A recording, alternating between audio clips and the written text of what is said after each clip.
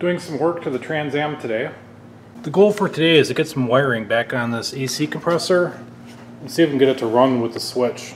Since the last video I've taken off the fluid damper and put on a Powerbond damper that can accommodate stock pulleys. We went with one size shorter belt. I'm liking the stock look of it versus having that aluminum pulley on there. I think I got a couple of clips of that. I'll see if I can splice them in here. Putting this original sending unit back in. Yeah, since I'm the coolant, this is a good opportunity to do this harmonic balancer job. I'm going to take the radiator out just so I can get in there real easy.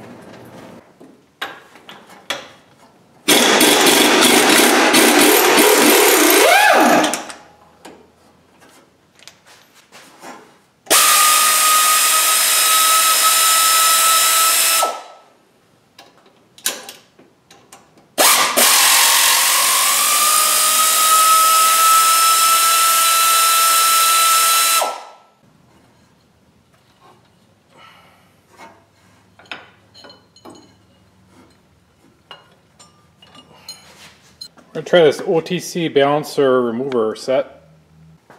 Looks like the end of this thing is a whopping inch and a sixteenth. But it's pulling this balancer off just like butter.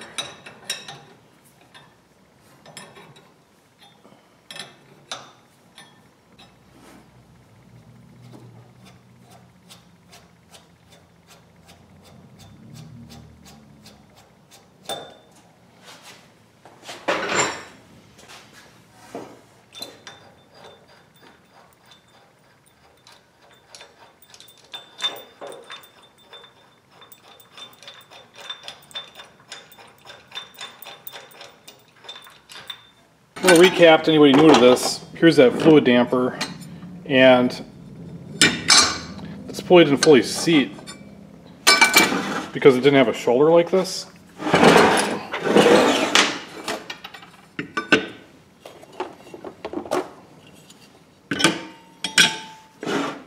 And our new balancer matches the stock type balancer perfectly. We tried a March pulley on this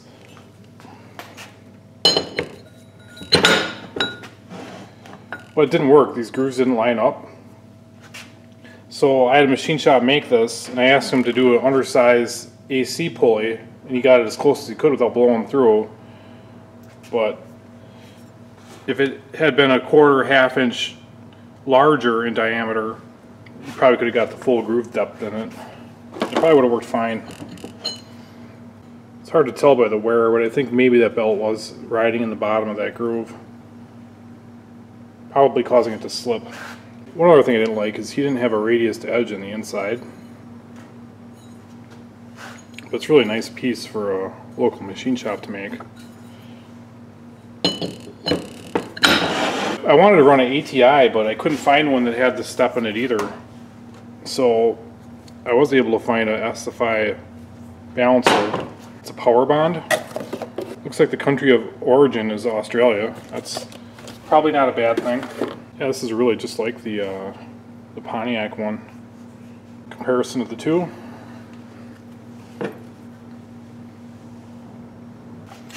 So I don't know if this is going to be press fit or not. There were some comments when I was originally doing it that the Pontiac balancer is a slip fit. Then you end up with a, a big torque number on this bolt. We'll see if this new balancer slips on. Put a little grease on the OD, balancer.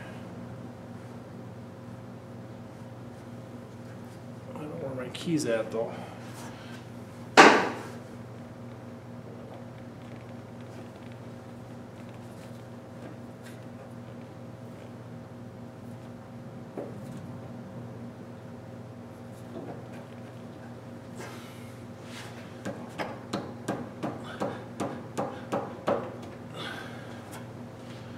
Pretty snug fit.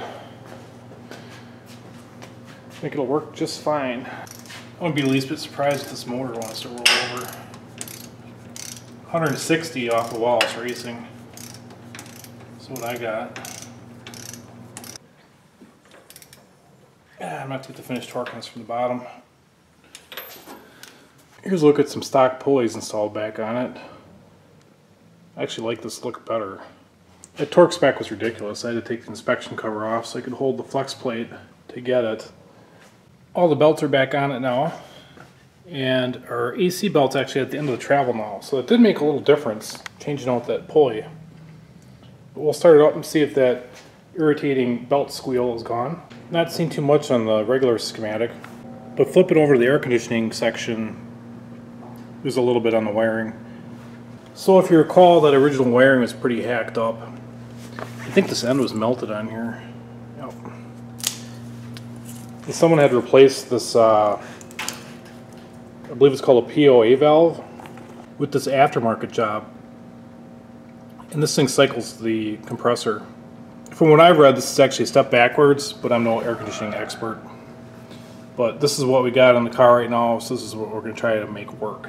I got the instructions for this, and it said run the power wire to this and then to your compressor. So we got a new pigtail for the compressor. I noticed it had a an extra end on it there. That's for the superheat switch. Apparently if that thing grounds out, it blows this thermal limiter. Fuse, I'm gonna call it. And that would plug into the back of this compressor, but I've searched high and low, and I don't see a place to plug it in. So I don't believe that this compressor has the provision for that. I mean, it could be the original compressor and the back part of it was changed out, or more than likely the whole thing was changed out. I don't know. So the compressor will work without this superheat safety device on there. And if it burns up, I pretty much say, too bad, so sad. I'm trying to remember what these clips are called. Was it Delphi 56? Somebody commented. For this type of uh, connector series. So we'll just leave that out. We'll have two wires on there. I only see one ground on the schematics. I'm probably just gonna maybe clip this a little shorter and tape the end and see how that works out. Now the dreaded part, I'm gonna dig into this engine and see if I can find that wire that's supposed to feed that compressor. It's like an AC switch and then an ambient switch and then to the thermal limiting fuse that plugs in that pigtail. There's some pretty good pictures on how that clip is supposed to be situated. And it kind of looks like that wire runs across the front of the motor there that feeds it. I don't think I'm going to worry too much about the routing of that wire right now. The plan is just to get it hooked up because it's uh, getting pretty hot out here. I believe I found it. Looks like I labeled it when I was working on this wiring harness. 2 AC compressor clutch, I think it says. Pays the label stuff. We'll toss a voltmeter on there and see what happens when we hit that switch. So I got set up here. Looking at zero volts with the key off. I don't know if this car has to be running, I doubt it. Let's see here. Air conditioning. Nothing. Alright, not 100% sure, but we got zero volts on this clip here. That's with the heater control off.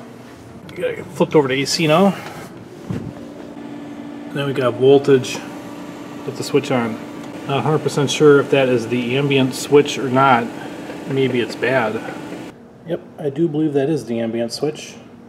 Before I do anything though, I think I'll jumper it and then see if we have power over on our compressor clutch feed wire. We'll see how that works. To key off, hooked back up over here. This is key on on AC.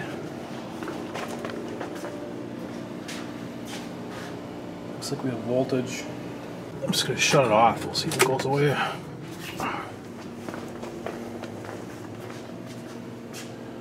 Oh yeah. I think we'll try it on bi-level now. Probably try it on all these settings. There's bi-level. I believe on defrosted might be on also. Bi-level's on. Go to inside, whatever that is. On. It better be off on heat. On.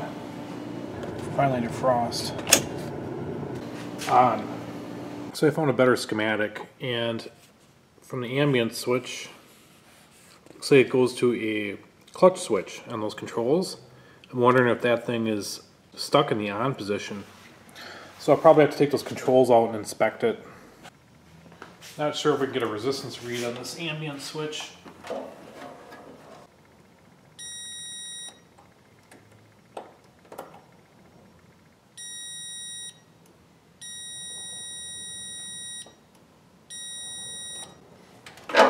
Maybe it's just a bad connection.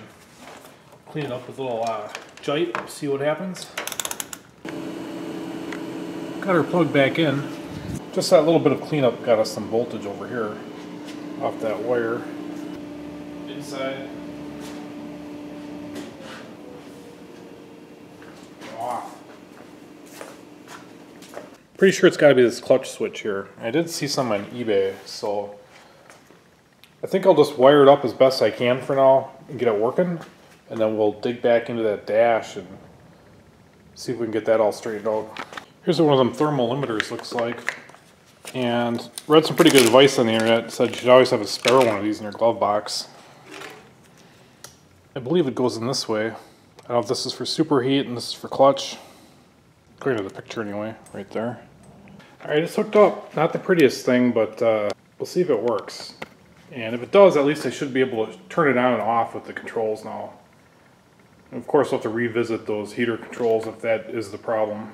Switch is in the off position. I'll turn it to any of the other positions and see if it turns on.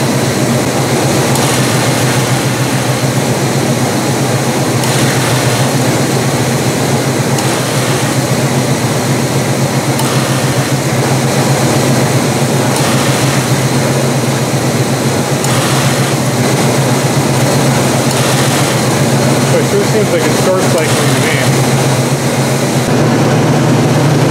Printed the instructions for it and there is no adjustment.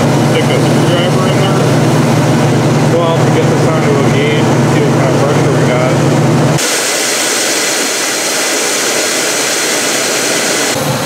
I just took a chance and backed that through a little bit. We'll see if uh, at any point.